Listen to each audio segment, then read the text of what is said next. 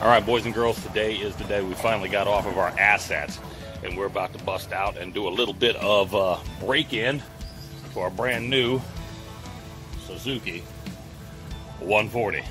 So, Mama's over here. We're backing up the big truck of love, and uh, we're about to go slam her into the El Watar. Stand by. So, consulting the handy dandy Suzuki DF115A DF115AS DF140 Alpha book, we have a 10 hour break in period. The first five minutes is just in neutral. The next is going to be in gear, and then we have 15 minutes of that, and then after that, we can go up to 3,000 RPM. So, here we go, start the day. The wonderful thing about a Panga is you can put that some bitch in anywhere. Told you we could get her in. Talk about some shallow water shit right here.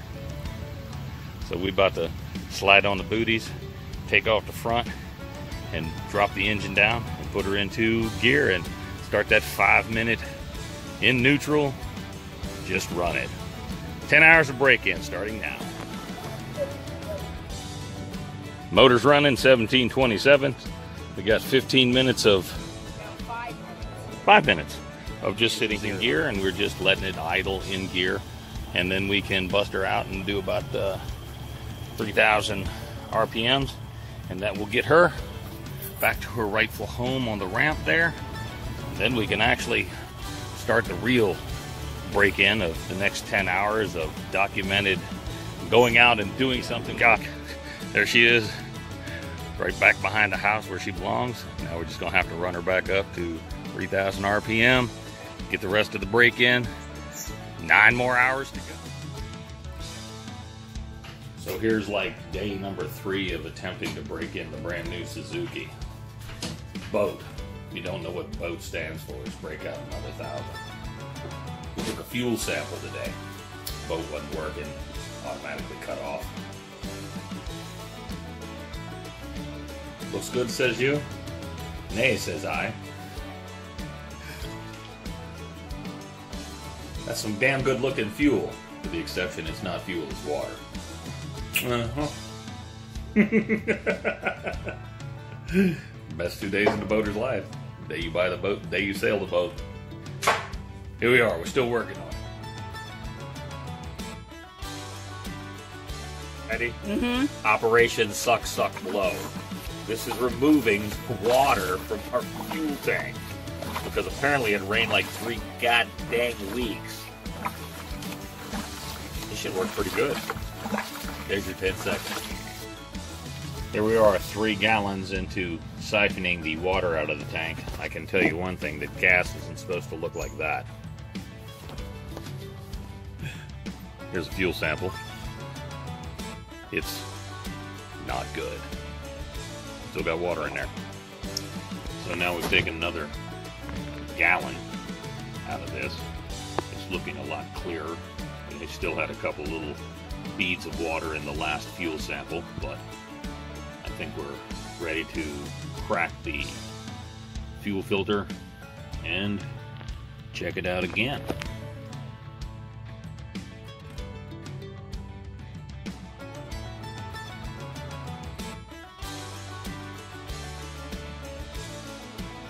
So you see this little filter right there? That's the shit that we got to get out. Now, I'm going to assume that we take these two off, move that. This whole episode will pull up because there's no way in God's green earth that I'm putting my big ass ham hocks back there. Note to self, this is a metric fucking bolt.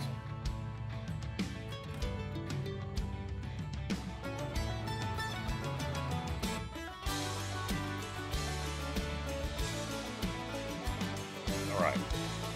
It's dark. We've uh, changed filters, and here we go. See what she does.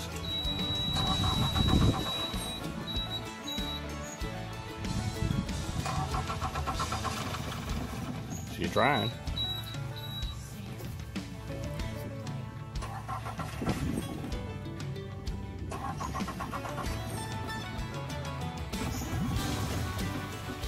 Almost. There she is. She's running again. Removed the filters, took out all the water, cranked her up. A little dockside sunset maintenance with the Admiral. I don't want to be on. Continuing on to the break-in phase. Got all the other craziness done. Little five minutes of warming up. We're gonna push her off the dock, go chase sunset.